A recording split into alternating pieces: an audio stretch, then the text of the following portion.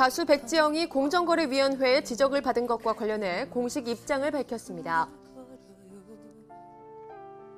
백지영은 9일 소속사를 통해 더욱 투명하고 공정해야 하는 연예인 쇼핑몰의 운영자로서 책임을 다하지 못한 점을 인정한다는 사과문을 발표했는데요.